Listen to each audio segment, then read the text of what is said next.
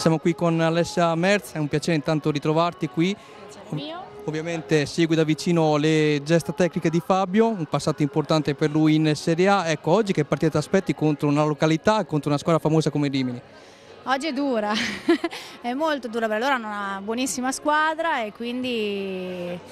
però sai, non, non c'è niente di, di, di, di fatto, è l'imprevisto, il gol all'ultimo secondo, la partita perfetta, quindi insomma ce la giochiamo anche noi e speriamo ovviamente di portare a casa il risultato noi, ovviamente. Fabio finalmente ritorna a giocare, è la sua prima partita dall'inizio, quindi insomma è come se riniziasse adesso, quindi speriamo faccia bene, però dovrà pian pianino ritornare in forma. Insomma. Ho seguito molto da vicino Bazzani, me lo ricordo soprattutto come calciatore in Serie A con la Sandoria, con la Lazio, con il Perugia, è davvero uno spettacolo vedere soprattutto il capo di Serie D un giocatore della sua esperienza e del suo calibro.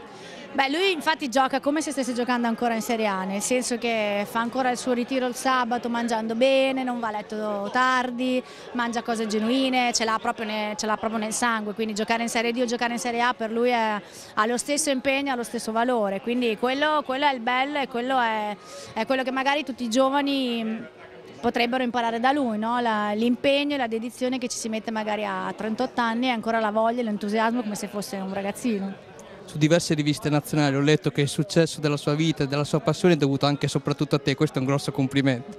Sì, si dice no? che dietro un grande uomo c'è sempre una grande donna, speriamo. Già, insomma, io, io confermo. Sì, confermi, beh, allora è fortunata anche tua moglie, vedi? No, diciamo che abbiamo sempre passato tutti i momenti insieme, quelli belli, quelli brutti e andiamo d'accordo, sono dieci anni e stiamo benissimo quindi sicuramente io aiuto lui e lui aiuta me. Poi abbiamo due bimbi splendidi e quella poi è la, è la gioia più grande per entrambi. In bocca al lupo per tutto e ovviamente... Grazie. Grazie, Alessia, gentilissimo.